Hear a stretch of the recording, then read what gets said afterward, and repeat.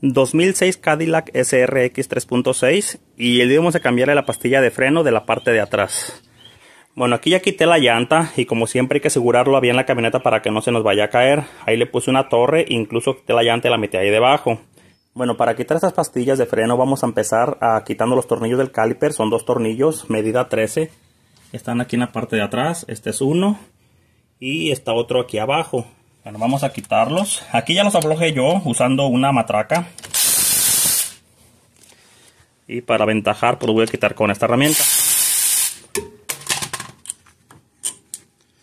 Vamos a agarrar el caliper y lo vamos a subir hasta acá arriba. Y para poder cerrar este caliper, vamos a voltearlo. Uh, yo voy a usar esta, esta prensa.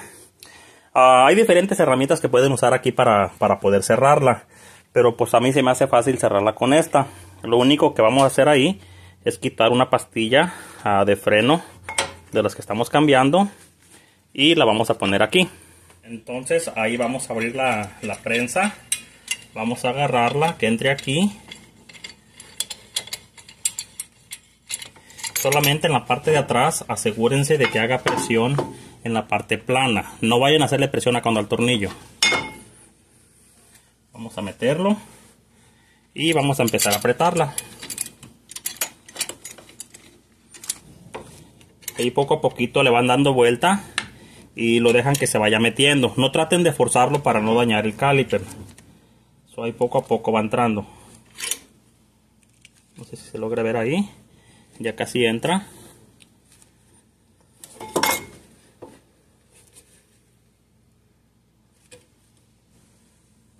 Ok, ahí ya pegó hasta adentro. Entonces vamos a aflojar la prensa.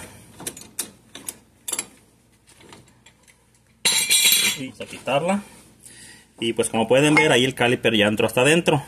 Bueno, vamos a quitar la otra pastilla de freno de la parte de adentro. Y vamos a quitar estas laminitas.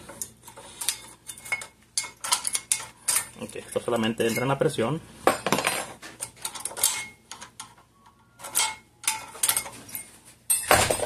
Bueno, enseguida vamos a, quitar los tornillitos que vienen aquí en la parte de atrás. Es bien importante que los quiten y que los laven. Porque algunas veces estos tornillos están bien pegados. Estos todavía tienen un poquito de movimiento.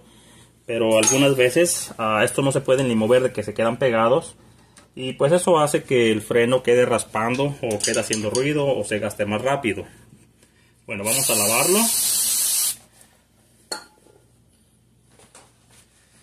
Vamos a limpiarlo bien. Vamos a lavar el otro. También vamos a lavar aquí el bracket del caliper. Usen desagrasante o limpiador de frenos. Vamos a ponerle grasa. Esta grasa es especial para los frenos. Le ponen a los tornillos. Vamos a meterlo. Cuando lo metan, asegúrense que agarre el plastiquito que está en la parte de atrás. Vamos a ponerle aquí al otro.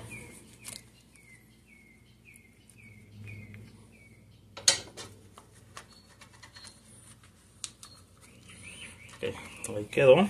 Bueno, enseguida voy a poner estas laminitas. Ah, en el set de pastillas de freno que compré vienen nuevas. Si en el que están usando ustedes no las trae, ah, de igual manera las que tenía quítenlas y las lavan y las vuelven a reusar. Ok, la alinean bien ahí en su guía y la hacen presión hacia abajo para que atore. Vamos a ponerla de arriba. Se fijan aquí ya unas patitas que enganchan en la parte de adentro. A veces está un poquito duro para meterlas, pero sí, sí entran. Ok, ahí quedó. Ahora, cuando metan esas laminitas, asegúrense bien de que está enganchando en la parte de adentro. Aquí les voy a enseñar acá adentro cómo está. Se ven ahí la laminita tiene que montar en esa pared que se mira ahí de los dos lados y también en la parte de abajo. Y les digo esto porque algunas veces cuando metemos el bracket esa laminita se dobla para adentro y si no se dan cuenta a veces queda pegando en el disco. Ok aquí estoy tratando de enseñarles. Ok ahí queda un espacio. Ahí queda un espacio entre el disco y la laminita de los dos lados es bien poquito lo que queda de espacio. y algunas veces esa laminita se dobla a la hora de meterla si no nos damos cuenta. Entonces ensamblamos todo y a la hora de manejar la camioneta pues va a empezar a hacer ruido. Es por eso que debemos de asegurarnos de que quede bien metido de los dos lados, de arriba y de abajo. Bueno, enseguida vamos a poner la pastilla de freno y pues también vamos a ponerle grasa aquí en las puntas. Vamos a ponerle también esta otra. Esta grasa es especial para los frenos, esta la pueden conseguir ahí en el autopartes. Enseguida aquí vamos a meterla un poquito de lado y luego la empujamos hacia adentro. Vamos a ponerla de adentro.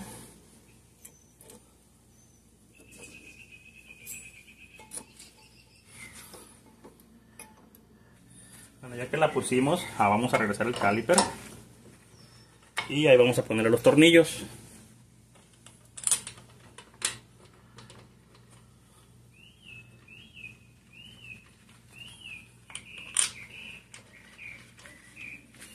Vamos a apretarlos.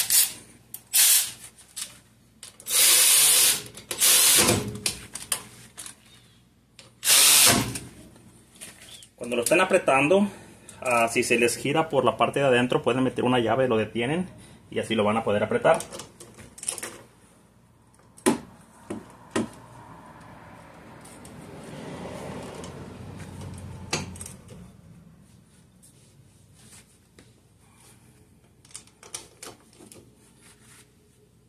Ok, ahí quedó. Ah, solamente tengan mucho cuidado con los tornillos de no cargarles demasiado porque pueden quebrarlos. Los tornillos están muy, muy delgaditos. Vamos a lavar, a quitarle si se nos quedó algo de grasa. Vamos a dar una, una lavada. Y pues ahí vamos a regresar la llanta.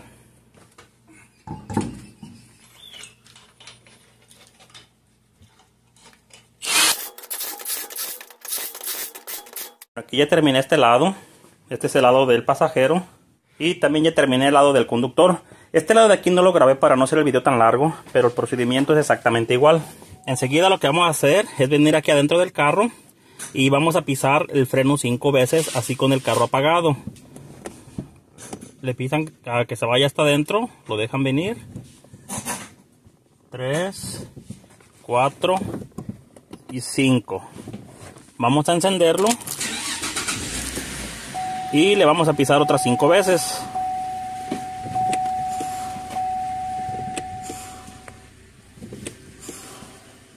vamos a apagarlo y pisamos otras cinco